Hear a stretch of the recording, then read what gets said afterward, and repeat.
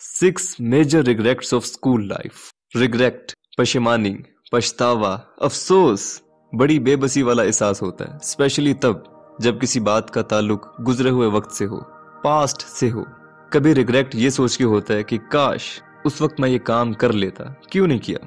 और काश, उस वक्त मैं ये काम ना करता।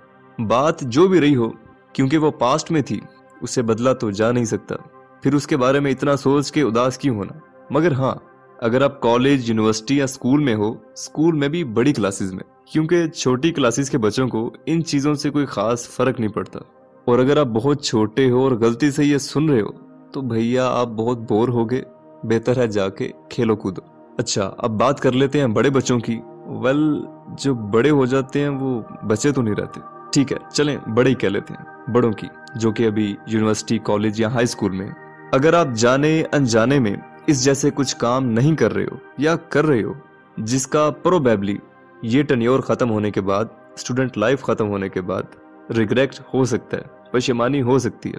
तो इन पे ध्यान देने का, इनके बारे में सोचने का यही टाइम है सिर्फ़। और वो चीज़ें क्या हैं? वो ये हैं। Number one just pass the time ये टाइम बस गुजर जाए किसी ना किसी तरह। ऐसा वो लोग कहते हैं जिनको किसी भी स्टेज पे चैन नहीं होता। जब वो स्कूल में होते हैं दुआएँ मांग मांग के अपने दिन गुजार रहे होते हैं। बेचैनी इरिटेशन उलझन इनके चेहरों से झलक रही होती है। जब सुबह यूनिफॉर्म पहन के इनको स्कूल में आना पड़ता है, और स्कूल आते ही असेंबली अटेंड करनी पड़ती है। और दिल में ये कहते हैं कि कब स्कूल लाइफ खत्म होगी, इन स्यापों से जान छूटेगी। फ्रीडम आज़ादी मिलेगी, जो कि इलेवेंथ ट्वेल्थ यानी कॉलेज लाइफ में होगी। थोड़ी सीनियोरिटी की फीलिंग आएगी। टीचर्स हमें सीरियस लेंगे, और ये सब ख्याल अच्छा अब कॉलेज में भी आना हो गया। कुछ दिन तो एंजॉय किया, लेकिन जो जो वक्त गुजरा, आगे की सोचने लग गए। एक दूसरे को कहने लगे कि, बता यार कौन सी यूनिवर्सिटी में एडमिशन लोगे? कहाँ का प्लान है? और कॉलेज में बैठ के सोच रहे होते हैं कि यूनिवर्सिटी जाएँगे तो क्या मज़े होंगे?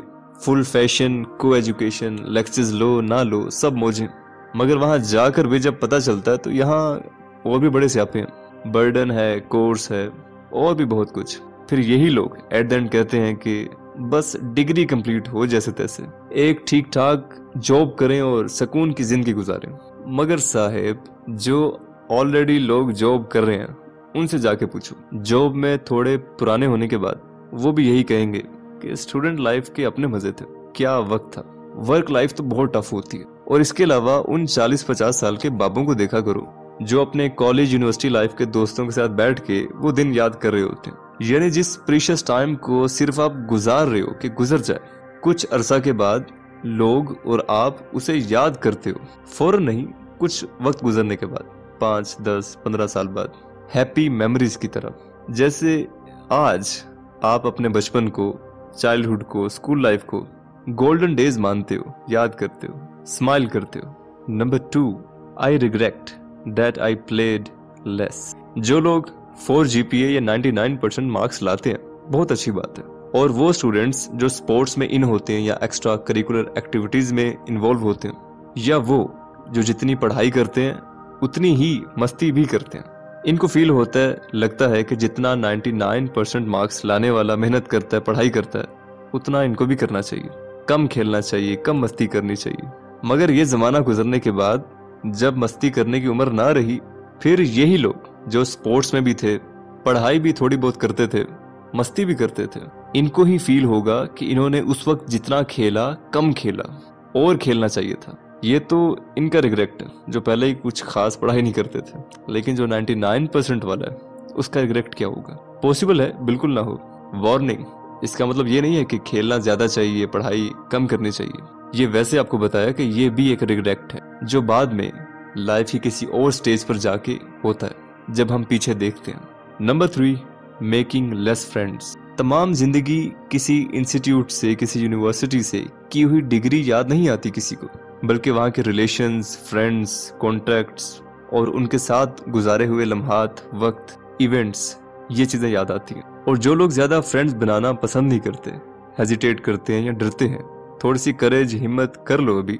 एक तो ये काफ़ी अच्छी चीज़ होती है और बाद में कुछ अच्छी मेमोरीज भी होती हैं याद करने को।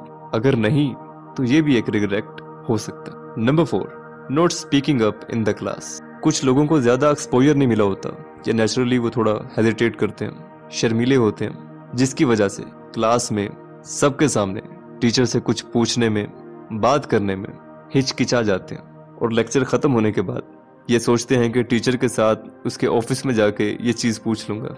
ठीक है, काम तो इस तरह से भी चल जाएगा। फॉर द टाइम बींग मगर वो चांस अवेल करने में, उस वक्त हिम्मत करने में, जो ग्रोथ जो इम्प्रूवमेंट कॉन्फिडेंस उस वक्त बढ़ सकता था।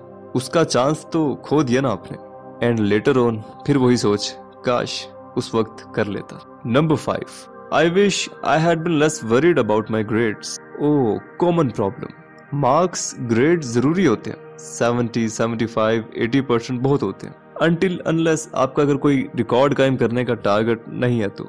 और रिकॉर्ड भी ग्रेड ज़्यादा लेने में। और इसके साथ जो स्ट्रेस परेशानी मेंटल हेल्थ पर असर, वो बोनस में। अगर आप भी ग्रेड्स के हवाले से बहुत ज़्यादा कंसर्न हो जाते हैं सीरियस हो जाते हैं, जबकि आपका काम चल सकता है अब एवरेज ग्रेड्स के साथ भी तो बाद में आपको ये भी रिग्रेक्ट हो सकता है कि काश मैं जरा कम परेशान होता। इनको लेके। लास्ट इम्पोर्टेंट नंबर सिक्स काश मैं पढ़ लेता या पढ़ सकता।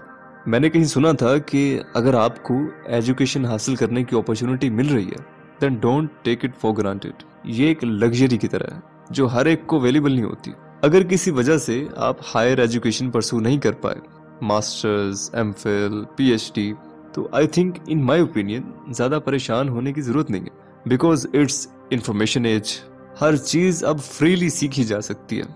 अगर सीखने का कीड़ा हो तो तो ये थे कुछ कॉमन रिग्रेक्ट जिनके होने के चांसेस काफ़ी होते हैं। अगर आपने इनको वेरीफाई करना है तो उन लोगों से जाके पूछ सकते हैं जो इस फ़ेज़ से गुजर चुके हैं। आज के लिए इतनी बातें काफ़ी हैं। मिलते हैं नेक्स्ट एपिसोड में। अपना ख्याल रखिएगा। Thank you so much